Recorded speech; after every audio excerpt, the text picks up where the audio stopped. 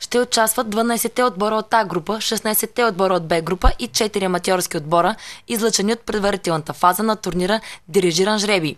Отборите са разделени в две урни на основание член 16 от наредбата за първенствата и турнирите за сезон 2014-2015 година.